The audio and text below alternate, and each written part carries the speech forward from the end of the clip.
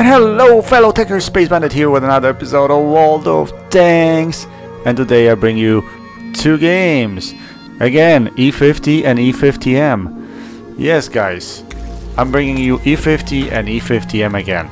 Aren't you excited about that? Well, to tell you honestly, these two tanks have lately been my both very favorite tanks that I play. I enjoy them immensely. They're absolutely fantastic tanks, but what we're gonna do today is uh, we're gonna focus on map strategy. So I have two replays for you. E50 replay is on the Pacific Island. Now I don't know why this map is back in rotation. Honestly, I mean, it has always been in rotation, but for whatever reason, it's back at tier 9 and tier 10s. I've got drawn a few times at tier 9 and tier 10 on this map, so I'm not sure why. Because Wargaming was saying at one point that this map will only be playable to tier 8 or something of that nature. I don't remember exactly, but there used to be a chart on a website where it stated that it was supposed to be for lower tiers. So I'm not sure why it's back in rotation for tier 9s and tier 10s. Absolutely no idea. And uh, in particular the weather variants too. I mean, uh, whatever. I mean, uh, it is what it is. We're, it's a tier 10 game. I'm in the E50 here, so I'll show you a very interesting location here at E5. So when you drone on a south spawn, E5 is the location that I would recommend for you guys to get to if you're in a medium tank. Simply because, one, you're gonna provide vital spots to your team and your artillery, and two, it is really a very, probably the safest area to get to from south spawn in order to have protection when you're actually engaging the opposition. Okay, so we got ourselves into the location I was telling you about, but immediately we run into T110E4. Yay! this is this is going to be fantastic encounter for myself. So uh, first thing I do is I hide. That's right, guys. I hide. Well, first thing I do is I switch to APCR. Obviously, I'm dealing with E4 over here. And second, I'm counting on my artillery and support from Tank Destroyer on the two lane to actually uh, start hammering the E4 for me. That's all I can do at this time. So I'm gonna try to kind of hang around here and once E4 decides to rush me like he does now, I'm gonna have to fight. And that's what I'm gonna do now. But for whatever reason, well, first of all, E4 bounces. So uh, I bounce and he bounces, which is strange. And second, he decided to run off. And uh, I don't understand he, why he's actually doing that because I'm not such a hard target for E4. But all I have to do is go and get behind his back and, uh, and take him out. In the process, I got myself in a very sketchy situation because there is a tank destroyer at D4. Luckily, he wasn't paying attention to me so I'm gonna get back in the same spot here, lose my sixth sense. I'm gonna try to climb up again and see if I can spot some more customers. Yes. Oh boy. So now we have E75. so we got rid of the E4. Now we're gonna have to deal with E75. Um, yeah, so we're gonna do the same thing, guys. We're gonna try to hide out here, see if artillery can hit him again. Try to take shots in between his shots. That's what I've done here.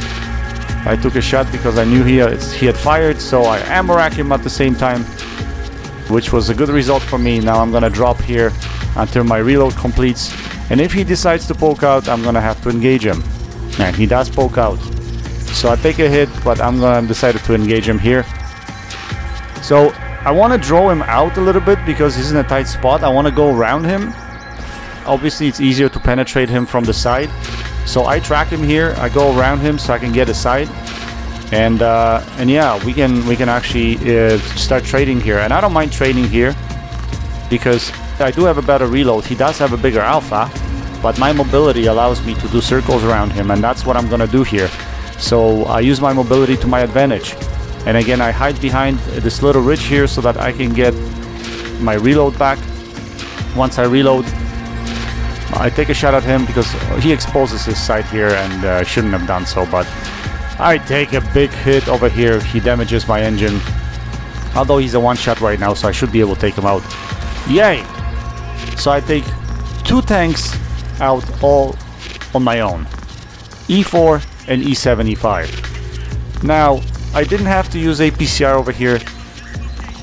But once I was engaging E4, I switched right away because I didn't know what else was gonna be up on that hill.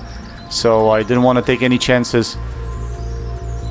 And then E75 showed up, so I didn't want to be reloading at the time where he's trying to engage me because that's the biggest mistake guys. If you're trying to switch shell types when you're close to one-on-one -on -one battle, then uh, yeah, it's gonna bite you in the ass. So don't do it, and that's why I didn't do it.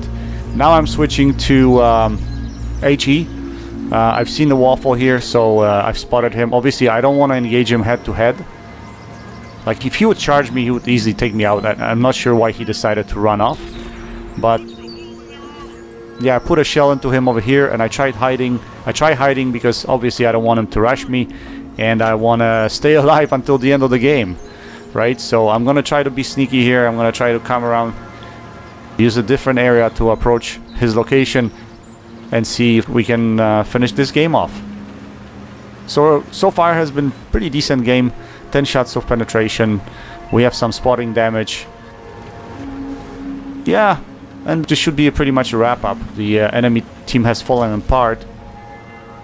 So we, we're gonna try to be cautious here. We don't want to die.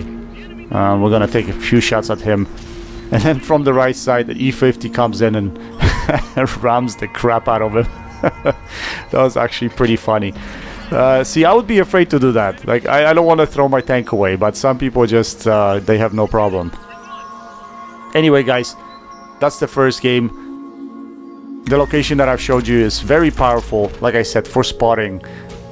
And it's good for one-on-one -on -one fighting, because usually what you're gonna find there is one tank that's sitting there and he's gonna try to overexpose himself to get you. So yeah, pretty nice result, over 6.5k combined damage. Pretty decent game in a E50. Okay guys, uh, let's skip to the next game. And the next game we're gonna have is on map Razieni, or Razenai. I'm not sure how you pronounce that. So here again, we're drawn on northwest side so yeah, let's uh, let's forward it uh, a little bit until the action starts. By the way, I hope you guys don't mind the music in the background. I just thought I would give it a little bit of mood. Why not? You know, keep it a little bit on the low down, if you know what I mean. Anyway, if you're drawn on this side, what I like doing here is I like, if, especially if you're in a fast tank like an E50 or any of the Russian tanks or any of the light tanks for that matter too, is uh, come across the one or two lane and get yourself an early position at K1. Now K1, if you manage to actually get there without taking any damage, and you can see me being cautious here because obviously I don't know if anybody has pushed far up here, but if you manage to find yourself in this location, it's excellent for crossfire because you have uh, you have the little hill over here for protection yet tanks opposition tanks like to creep up that little hill close to the castle there. So you usually get yourself in a nice situation where you can create crossfire right? And and that's why I like this location a lot. Uh, I've played many games out of this location and it's um, yeah it's it's a farming location, guys. In some, some cases, you you end up here and there are tanks basically pushing this area, so you have a bunch of targets. So I'm gonna try to stay here for a little bit. I'm gonna try to hang around here, see if I can get some shots on these guys. I shoot at E4, but unfortunately I bounce. So we're gonna have to, we're gonna try to track him over here and see if someone can hit him while he's tracked and hopefully he doesn't have a repair kit so I can hit him again but unfortunately my slow reload does not allow me to hit him again and nobody really punished him while he was tracked so un that's unfortunate. But now we have T57 heavy.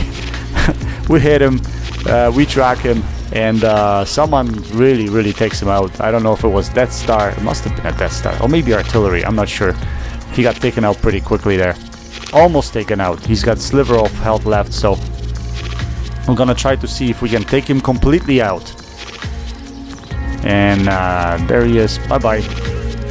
See you in the next game, bro. well, he must be kicking himself after this game. Quite a contribution. um, okay, so we're gonna keep try to uh, stay in this location here and uh, get rid of this this Borsig if we can. Unfortunately, I missed a shot here, so we're gonna try to stay in this position and uh, hit him again. But unfortunately, I don't think I'll be able to find shot here. He goes down anyway, so we don't have to worry about him. Luckily, artillery is not paying attention to me, so we can move around freely. Gonna try to come a little bit closer now to see if we can spot more of the opposition. It looks like the Reds are pushing hard on the other side of the map, so there shouldn't be too many of them on this side. Um, we're gonna try to get closer to this T95. By the way, the E100 on the left side, me and him had a wonderful teamwork here. Like this was a pretty good game for both of us. Actually, especially for him, it was a great game. So you guys will see the result at the end of the game. But I'm uh, taking advantage of him actually trying to engage the T95. So I came from this side again, doing the same thing, trying to get T95 into crossfire so that I can get his side because obviously this tank is so tough from the front you don't want to face him from the front. So here what I'm gonna do is track him in place and uh, hoping that E100 can finish the job and he does finish the job. So um, we clear this area here we're gonna try to move a little bit further. Unfortunately our team is dropping like flies and like all of my games lately uh, well except for the first one in the E50 where you could see us rolling over the other team that's been the story lately. Yeah, I bounce off the artillery right over there. Epic, absolutely epic. And this M103, I'm not sure whether he was... Actually, I thought he was AFK. So, um, I just wanted to get rid of my uh, HE shell. I loaded it for artillery, but actually I'm still keeping it here because I'm hoping I can hit the artillery, but artillery. gets taken out by E100 so I'm just what I'm gonna do is I use my HE shell to track the M103 so what happens here is if I track him whenever E100 hits him I get the tracking damage. So and he's alive. He's alive ladies and gentlemen. I didn't know he was alive.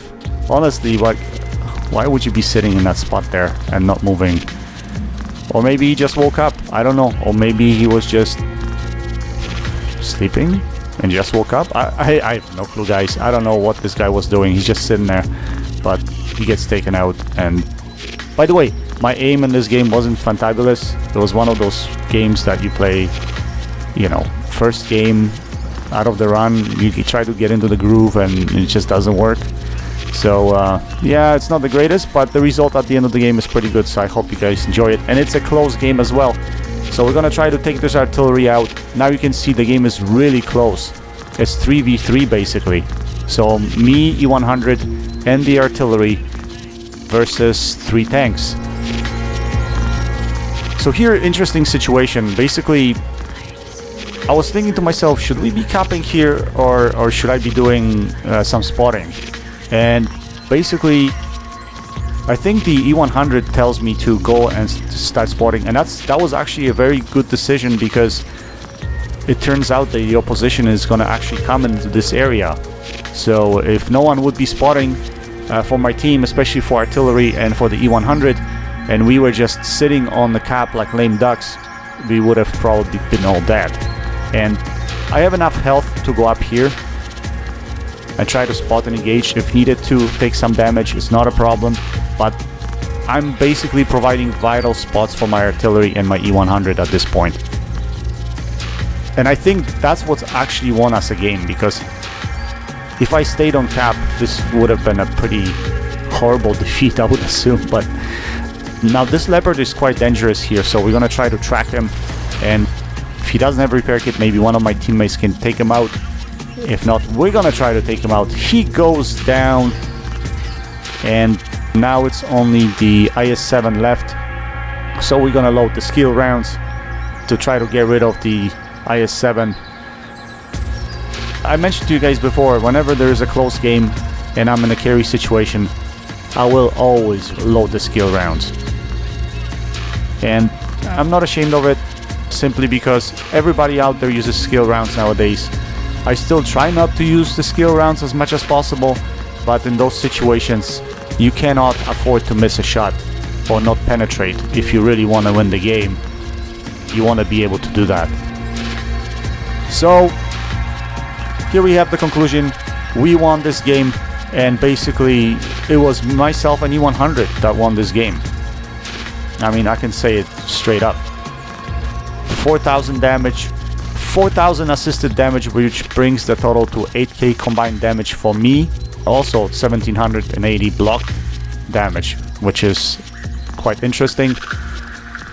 So E50M can bounce on shots. Now you can see E100, beautiful 5.3k damage, and I believe he had 8 kills as well. So fantastic game to the E100 props to him for holding on and providing me with vital directions. See, sometimes you need teammates to tell you what to do. I mean, everyone has brain farts at some point in time while playing this game. So, props to him for playing a great game. I hope you guys enjoyed this. I hope you guys enjoyed the locations that I've showed you. Again, I'm trying to educate you as much as I can with respect to my knowledge and what I do in the game so that it is easier for you to get your damage. okay guys, I hope you enjoyed this video. Until next time, happy tanking, Space Bandit, checking out. Oh, and last but not least, check out Cloneguy72's channel and GotADingy's channel. Their content is excellent. Actually, Cloneguy has been putting up some really ridiculous games lately, so I, I really encourage you to check out his channel. And GotADingy just recently had a pretty nice game in the Japanese Heavy, which came right to the wire. So, yeah, check out their channels, and I'll talk to you next time.